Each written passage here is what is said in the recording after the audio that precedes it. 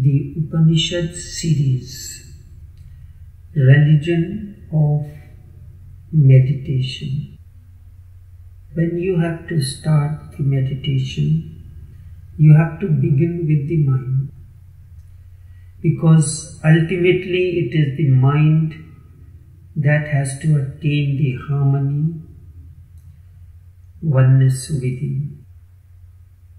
It has to begin from mind and using breath as a technique, the religion of meditation begins. Mind wanders, can there be religion without God? This is how mind is. Mind goes on inquiring and asking questions that have no relevance. Indeed, going out of the mind is the beginning of the process of meditation. In order to go out of the mind, go beyond the mind, you have to use mind as a technique. Meditation is only a method that helps you to remove all kind of barriers. It is like a spade work weeds are removed, thoughts are removed, and then finally the mind is removed because mind is the sum total of thoughts. It is just removing. Indeed, this is a negative process that goes on rejecting everything that is inside. So one day there is nothing to reject all that can be thrown out has been thrown out, and you have a pure inner space. But when it comes to throw out, that's where the problem comes in. Even in ordinary life, when you are trying to clear your room, clear your desk, you look at the various things you sort out the things that has to be rejected, that has to be discarded, and then you give it a second look. And when you give it a second look on the things that you have pulled out in the first place to discard, nearly 50% of those are restored. Just as when you look at the your laptop system there is you know the whatsoever you want to discard that goes in the bin but it has an option available to you restore what is there in that so mind first takes out the things to discard, then restores them. And that is where awareness, understanding has to come in. All that can be thrown has been thrown out, and you have, when that happens, you have a pure inner space and that space is the right preparation. It is the beginning, a new beginning, a beginning of a new journey. In that space, the seed of intuition that you have been carrying all along suddenly bursts forth unpredictably this cannot happen. No seed can burst open unless the soil is prepared. And the soil can only be prepared when you are ready to take a drastic action of discarding all that has been there in the garbage recycling bin Computer technology uses the word recycling bin. It has an option, it has an option that you can recycle, bring back, restore it, or if you decide within no time, with a one click, all that is there in the recycle bin vanishes from your screen and from the memory as well. And when the inner space is pure, then the seed of intuition that you have been carrying all along suddenly bursts forth unpredictably. One cannot say what will happen. But one thing is certain it does happen. That much can be said. However, the time cannot be predicted, but it happens. If the space is ready, it happens sooner or later, and it is always sooner than later. It is like slipping out of your mind, just as a snake slips out of its old skin. It is not a science. Instead, it is an art, or to be even more precise, it is just a knack. So, too, meditation is the knack. Simplest art, it teaches you how to be silent. You can use breath as a technique. A simple meditation I give you. You sit down in a very comfortable position, whichever way it appeals to you. Sitting on the ground, squatting, or sitting on the chair, or any other position you keep your eyes slightly closed, not forcing it, very gently you're closing it. Place your palms on one another and two palms together, place it onto your stomach, covering the solar plexus.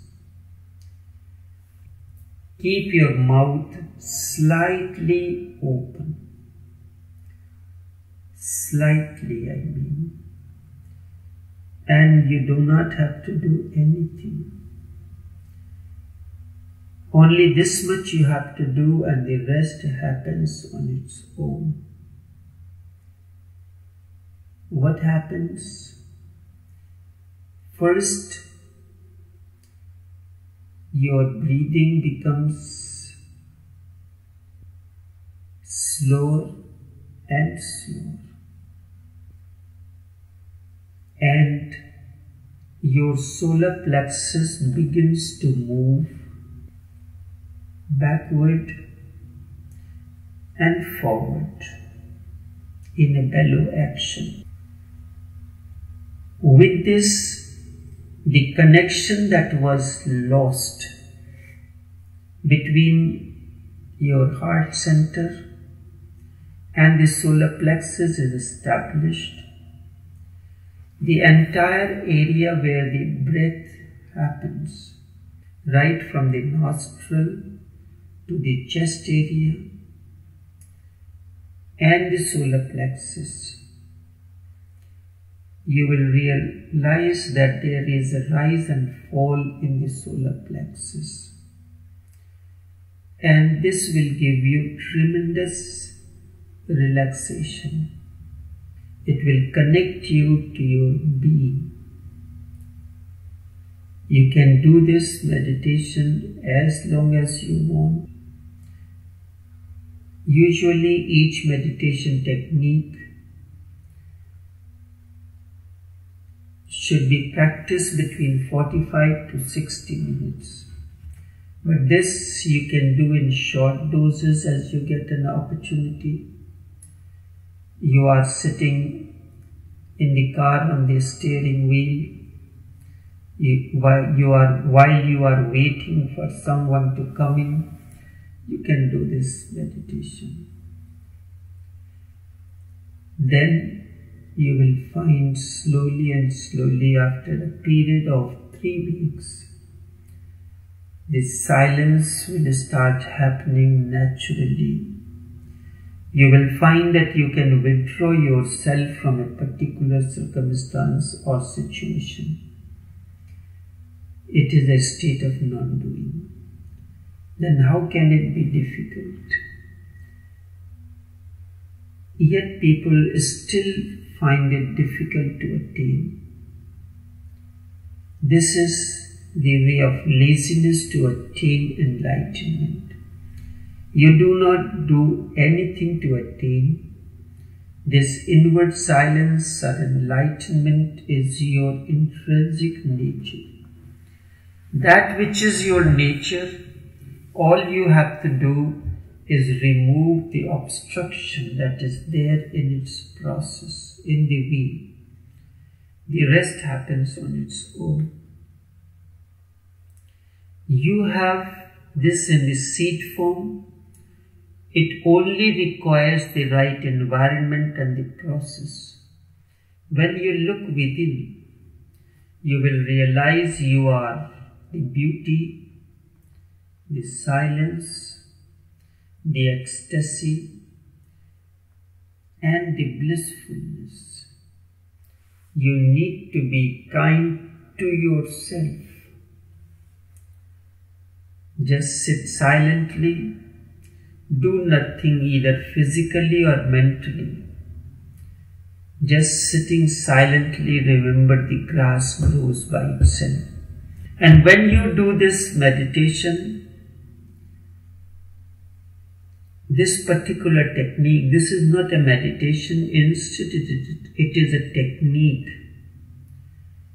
for you to discover the inner treasure and be connected to those. You can do things, you can cook, you can fix the car. All this involves doing, but relaxation is a non doing process you will definitely find it difficult in the beginning because your whole gestalt is that of the outer world, the dimension of doing. By nature, you are addicted to doing, and this will take time to vanish. Just be, relax, and watch. This being is not doing sit silently, doing nothing, witnessing whatsoever happens. This is another way you can do. But I find the first technique that I had given you, keeping your mouth slightly open, the breath goes into the solar plexus where it was not reaching the other is you start witnessing whatsoever happens. Thoughts will float in the mind. The body may feel tension. Be on the hill a watcher of all that is happening in the valley. This is a knack. This is your nature. This is meditation. This is the ultimate flowering. Meditation is not just science or art, it is either both or none. In fact, it is a knack. Old habits continue to play their part. Thoughts continue like the rush hour. Your body is not accustomed to sit silently you can remain the whole night dancing and partying without a blink. But when you are asked to sit silently, you feel uncomfortable. The mind's wavelength reaches below four and you begin to fall asleep. You will remain tossing and turning. The mind is whirling in thoughts, both consistent and inconsistent. Dreams and fantasies, sometimes you have no relevance. Something has happened in the past, but you are continuing to carry on, preserving that garbage into you. And you give many kind of rationals for it. Mind is whirling in thoughts, both consistent and inconsistent, dreams and fantasies. What happened to Rumi? Rumi was whirling and he whirled for 35 hours continuously. Whirling happens around an axle And during the process of whirling, you have to become aware of the non moving part of your being, which is your axle. The moment your attention moves from periphery to the axle, you will realize that you have reached to the center. Whirling is completed. Remain at the center witness the process. All the religions of the world teach you to do this or that, rituals or zikr or chanting the mantra. You are asked to stop the mind or force the body in a still posture. And when you force, the body cannot be still all prayers, concentrations, singing, etc., belong to the domain of doing. You cannot force this stillness. It will then be false when its stillness comes on its own. Silent descends on its own. It has a beauty. In the moment of witnessing, thoughts disappear and silence dawns. It has its own beauty. You do not consider thoughts as yours because all thoughts are borrowed. No judgment is needed whether a particular thought is good or bad or should it or should it not be there? Should it or should it not be there? You are a watcher without prejudice or judgment. Your being becomes a mirror. The purpose of the mirror is simply to reflect all that comes in front of it without any judgment. This state of mirroring everything, both within and without, is meditation. When you become a mirror, non judgmental, whatsoever comes in front of the mirror, mirror simply reflects it. But what happens by nature? Whenever Pandora's box is opened during the process of meditation, something surfaces, you hold on to that close to your chest and continue to lament. Either you become masochist or sadist, but not becoming a witness to it. There is nothing that can be done. You cannot reverse, there is no, your car, your automobile has a reverse gear.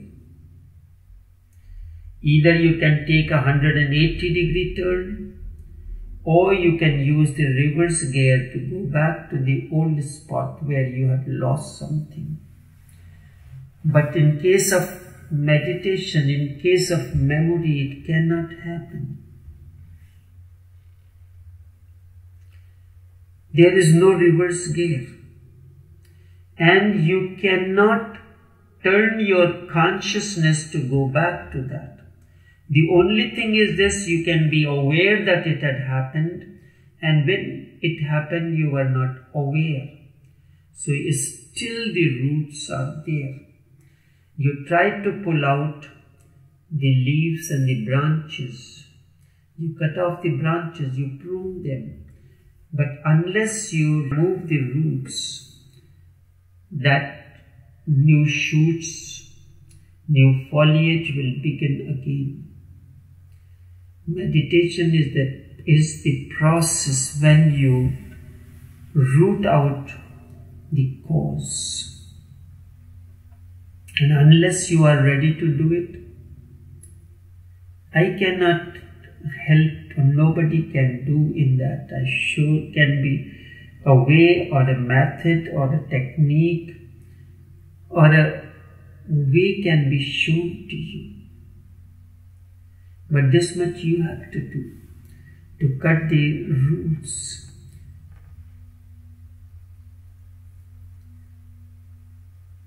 And once you continue, it is going to happen to you. I can speak on my own authority. It happened to me. It happened to Buddha. It happened to Jesus, Lao Tse, Zarathustra, and many other masters. It will happen. Maybe a few, may, a few days may pass or a few years as well, but certainly it will happen to you one day. You continue to remain a witness. It may take time, which will depend on each individual. You can be a doer and a witness at the same time. You can eat, walk, sleep, talk, etc., and yet be a witness. You can move your hand unconsciously as a habit, or you can move it with total awareness. The quality is different. There is a qualitative difference between the two. When you move it unconsciously, it is mechanical, and this is what happens. And when you move the hand full of awareness, or you remove that thought with awareness, I am going to discard it now. When you move the hand full of awareness, there is a certain grace, even your hand will feel the silence within. What to say of the mind? Constant watching leads to disappearance of thought process. Ultimately, mind is doing, all religions teach doing. Be a watcher without any judgment. This is meditation. It is easy to teach science, very easy, because it consists of something observable. It relates to the objective world. The student can see what is happening with his own eyes. He can see water evaporating at 100 degrees Celsius. There is not much of a trouble in teaching science just a very average intelligence is needed to sit silently in meditation or to teach art is a little more difficult because tremendous intelligence is required tremendous intelligence is required. If a person wants to be a painter, he will have to learn two things, not one. In science, he has to learn only one thing. In science, he has to learn only one thing. He has to become informed. If he wants to be a painter, he has to learn the technique of painting and the art of painting. Both are two different things the technique of painting and the art of painting. You are merging the science and art together. For a technician, painting is only a question of arranging colors in a certain pattern with certain geometry, certain proportions.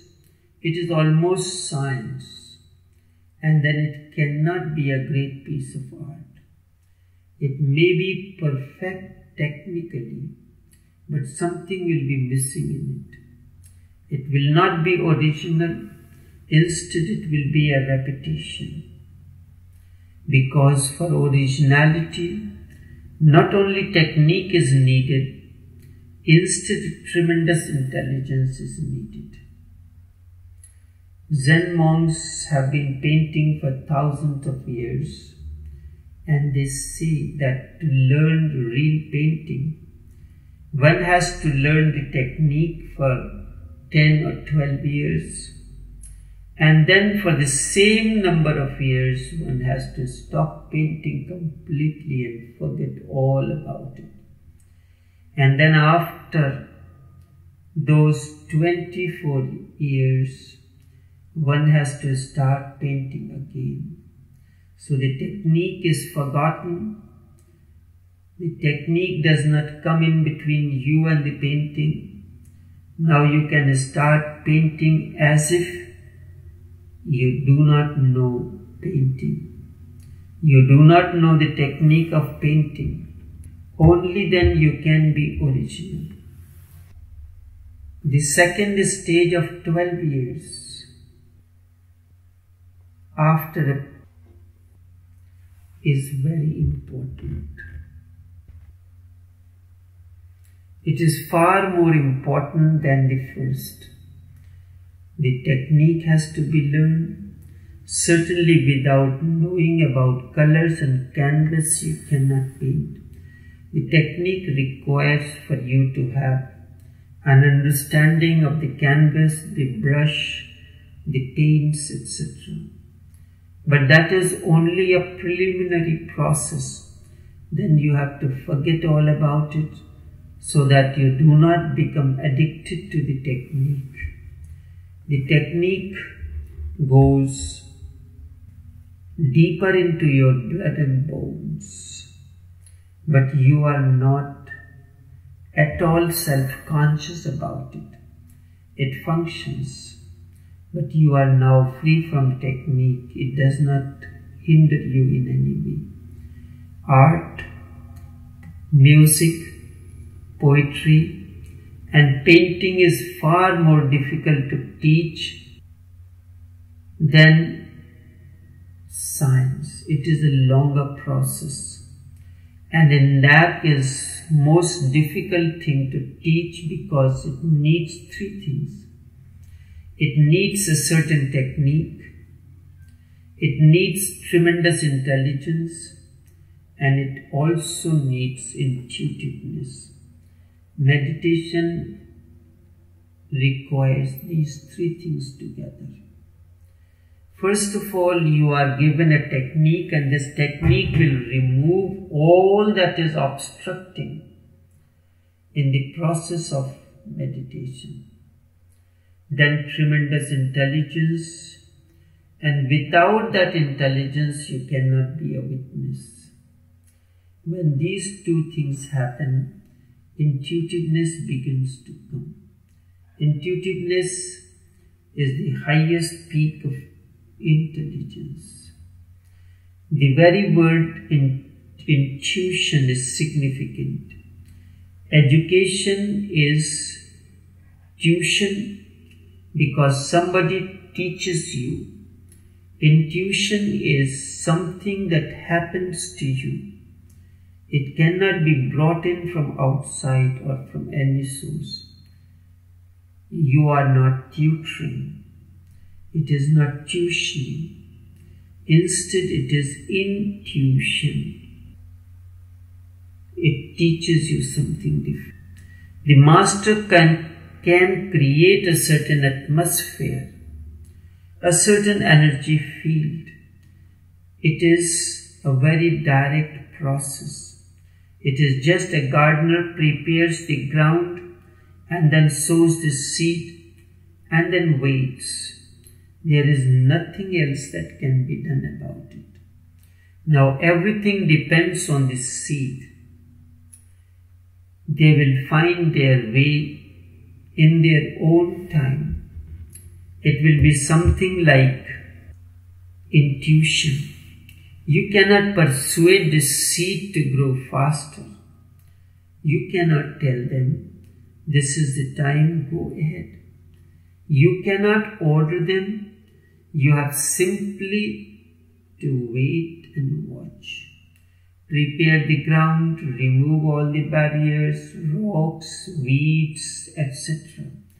This is what is being done through the process of meditation, the first part. Preparing the ground, removing all the barriers, rocks, weeds, etc. Give them a beautiful bed, watering, sun, and all that is needed, and wait and wait for their own intuition to unfold. You cannot do more than that. This is that is the function of the master to create a certain energy field in which your intuition can one day suddenly becomes a flame. It cannot be caused, it cannot be forced, it can only be held, and that too in a very passive way. My work is to help you to find where you have put it and to find how to open it. And then life becomes a splendor, the grandeur of dimensions that are inconceivable by the mind. Then, for the first time, you know what depth means and what height means. Then you are no more flat. Ordinarily, people are just flat. They do not have any depth or any height, just flat ground. The real adventure begins only when you are alert and you start moving deeper into your being. Deeper into your being and also higher into your consciousness. You go deep into your being and reach the higher rungs of consciousness. And the process are two sides of the same coin. If you go deeper in, you will go higher as well and vice versa. This is one dimension, the vertical dimension. People who live flat life are living horizontally. Their life is just like a flat tire that is utterly punctured, and nothing can happen to that. This is what you have to understand. And when you understand this, you will realize the only way to move within is through meditation. Only through meditation.